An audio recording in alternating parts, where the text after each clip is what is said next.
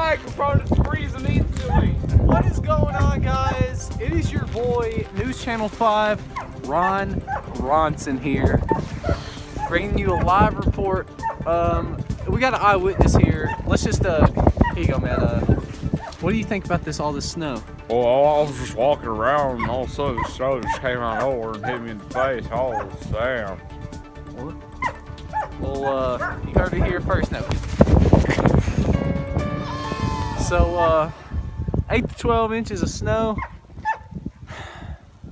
It's pretty fucked up.